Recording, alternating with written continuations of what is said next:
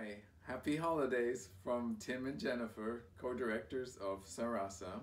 Uh, we want to thank you for all you've done um, to make Sarasa possible over the year 2019, in which we also enjoyed our 20th anniversary.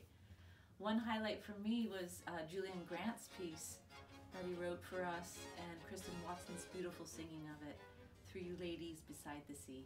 And uh, our concert of the Bach cello suites in September was wonderful and I think people really enjoyed hearing all the, the different uh, ways in which we played, how, how our differences and our similarities. And we just finished a, a patch of work with uh, some wonderful musicians from England. And it's been a great year and would be wonderful if you could contribute to Sarasa financially at the end of the year so we can continue this great programming and bringing music to people who need it.